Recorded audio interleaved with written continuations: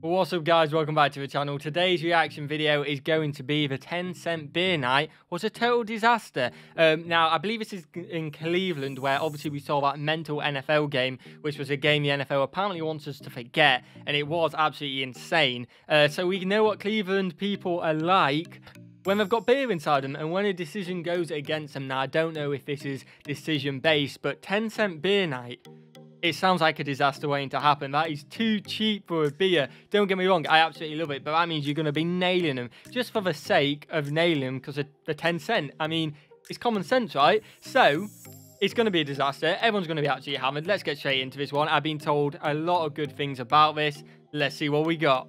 10 cent beer night at a baseball game sounds like okay, a great it's baseball. Idea. At least, that's what the Cleveland Indians thought one humid summer night in 1974. In fairness, at first glance, 10 cent beer night sounds like the perfect plan to sell tickets to a ball game, but sell tickets, yes. For disaster, no. It's a yeah. Well, so it's a perfect thing for disaster. When beers are 10 cents, one mental dime, all night. Let's just say things went off the rails pretty quickly. Yeah. Here's the story of the infamous 10 cent beer night. Before we get into the events of that fateful evening, it's important to understand the build up to the moment. Sure, 10 cent 12 ounce beers all night is already a recipe for disaster. yeah. But if you look at the history of the players, the teams, the managers, the city involved, it just makes it worse. First, the two teams. 10 cent beer night was to be held in Cleveland while the Indians were hosting the Texas Rangers. Okay. Earlier in the season, while the Indians were on the road in Texas playing the Rangers, the teams got into a brawl, like a legit fight. Okay, so not only have you come up with this brilliant idea of selling alcohol to a lot of chaotic, emotional fans uh, to a baseball game, but you've picked a game where there's already been a brawl between these two teams. Tensions are going to be high already, man. Not one of those brawls where everyone just sort of dances around and yells at each other. There was an incident where one of the Indians slid into second base too hard in the eyes of the Rangers. Okay. So then there were some fastballs being thrown at people's heads, which led to legit wow. punches being thrown, a brawl, and Rangers fans throwing food and beers at Indian players. Holy! So there is plenty of bad blood between the two teams heading into their series in Cleveland. Yeah. And Cleveland Indians fans are now all fired up for their newfound rivals to come to town. Now, let's talk about the city of Cleveland and its people in 1974. Being fired up for a baseball team you don't like to come to town is, again, already a recipe for some sort of incident. but Cleveland was already a city on the brink. In the decades leading up to that fateful summer evening in 1974, Cleveland saw around 600 factories shut down.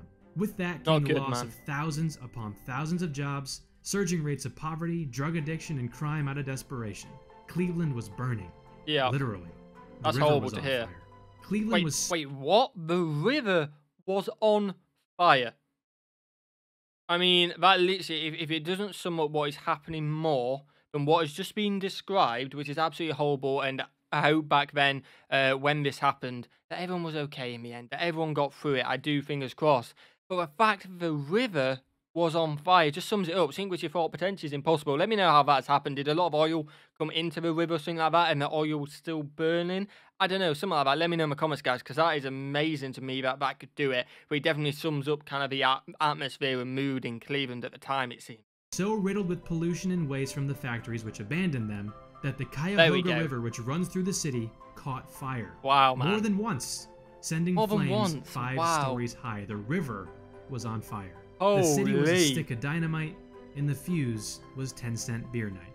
If you're imagining that there couldn't possibly be a good outcome to this whole 10 cent beers all night then I'm thing, right. you're absolutely right. so here we go. The promotion worked. The Indians, who were terrible at the time, were only averaging a few thousand fans per game. Okay. 25,000 plus fans oh, showed up for nasty, 10 man. beer night. The echoes of Chief Wahoo's famous war drums filling the air, accompanied by the flashes and howls of firecrackers, which the fans brought themselves because it was 1974 oh and it was 10 cent beer night. In the second inning, after the Rangers took the lead with a dinger, a fat, middle aged woman jumped onto the field, ran to the Indians on deck circle, and flashed her breast to the crowd. Oh and then my tried to God, the head man. umpire. Yeah, that's what the beer does. It goes straight to the head for some people, and for 10 cent, it's going to be going to a lot of people's head because you're going to be necking you can them. guess, she was hammered. Yeah. This was the second inning. In the fourth inning, after the Rangers hit another oh dinger, my a God. man, fully nude, ran onto the oh field my God. and slid into second base. Then that guy ran off. They didn't catch him. Maybe they didn't want to. Cleveland was just warming up. At this point in the evening, the people pouring the beer for the fans weren't able to keep up with the demand at the concession stands. The one rule at the stadium was you could only purchase six cups of beer at a time, not six beers total all night. It was six At a beers time. per person at one time. Yeah, for 10 cent, you'd be ordering six every single time. Even if you drop five going back to your seat, you've still got it at a deal. You may save one and a half. It's worth it, man. It is so worth it. So people were just buying six beers for 60 cents, drinking them, getting back in line, and doing it all over again. Yeah. As you might imagine, it was a madhouse. So, to try to keep up with the consumption, they just brought in the beer trucks, set up the trucks outside of the outfield fence, and just had people line up right at the beer trucks to get their 10 cent Oh, beer. wow. And who was handing out the beers at the beer trucks? Well, it was two teenage girls in skimpy tops because it was the 70s, and here we are. Okay. Two scantily clad teenage teenage girls handing out beers at 10 cents a pop to drunken laid off factory workers on a hot, humid summer night with war drums and fireworks going off in the background. Disaster. What could possibly go wrong? Recipe for Well, disaster. of course these poor girls can't keep up with this setup either, and they just walked off. And why Oh, wouldn't they? okay. Well, that's good. The guys in line grabbed the table that had been set up to collect the cash for the beers, and they just hucked it over the trucks. Now, 10 cent beer night basically turned into free beer night. Oh my there were god. guys not even bothering to fill up cups. They were just hauling off the tap on the beer truck. In the Wow. fifth inning, two men jumped over the outfield wall and mooned the Rangers outfielders. this brought about another stoppage in play as security chased these guys all over the diamond, the players looking on helplessly. Shortly after this, Rangers manager Billy Martin headed to the mound for a conference with his pitcher. Upset that he was delaying the game, the Indians fans threw full cups of beer onto the field. Because who cares? They cost 10 cents or were free. exactly. Upon returning to the dugout, Billy Martin blew kisses at the fans, resulting in Indians fans shooting fireworks into the Rangers bullpen, What? which was then ordered to be evacuated by the umpires. Oh this my is real. god. This happened at a major league baseball game. Yo, this is an absolute madness. Like, imagine if they did something like this nowadays. I mean, I'd have a field day drinking. I wouldn't do any of the bad stuff. I'd have a field day, 10 cent. Can't complain with that. But holy, shooting fireworks into the dugout. Holy, After man. this, the public address announcer proclaimed, Please don't throw things onto the field.